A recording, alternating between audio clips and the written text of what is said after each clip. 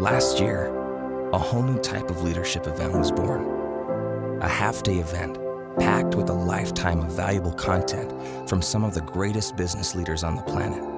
Thousands of us joined in boardrooms, auditoriums, churches, and classrooms in cities across the country and in countries globally.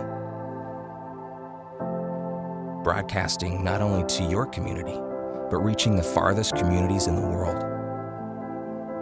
We were inspired by leaders like Linda Kaplan Thaler, who shared with us that passion is focusing on the tiniest details, finding magic in even the smallest inspirations, and embracing the briefest moments. And where Tim Sanders challenged us that nice, smart people succeed. And John Maxwell, who taught us that good leaders ask great questions that inspire others to dream more, think more, learn more, do more, become more, and live more.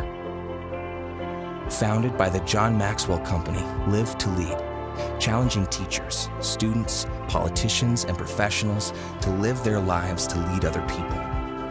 Giving you what you want a content rich environment in the morning that can be immediately applied to your afternoon.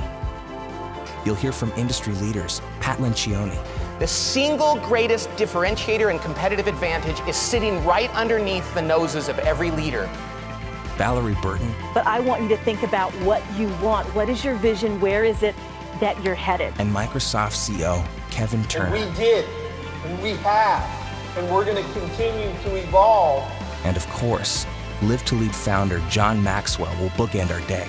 Leaders develop daily, not in a day. Join with us as we broadcast in your city. L2L, Live2Lead.